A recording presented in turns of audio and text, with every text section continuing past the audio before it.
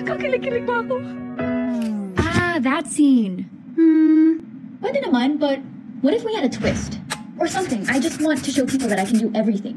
Parang kayo, di ba? Because you've leveled up to a bang. What do you have in mind, Liza? Please, call me. So anyway, I know people want to see me smile and be all pretty in my next project, but there's so much more I can do. I want to give the people Liza like they've never seen Liza before. Imagine me as in horror or action with explosions, or an alien invasion in Boracay, or a zombie apocalypse and giant mutant kittens. Then I escape on a high-speed jockey machine singing dun dun dun. It's my Everything I do is lit. Literally. I take out a box of matches. No, a gasoline can. I got it. And then you see me burning every single costume I've ever worn. Excuse me, Miss Hope. Saan po papasok si Maya?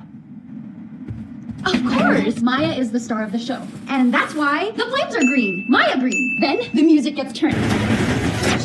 The vibes are immaculate. And then, just as everything's about to get really hype, we hit them with the hardcore banking stuff.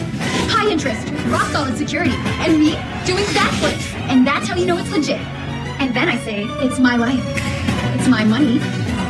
My bank, my way. Then add logo, Maya, tagline. It's everything.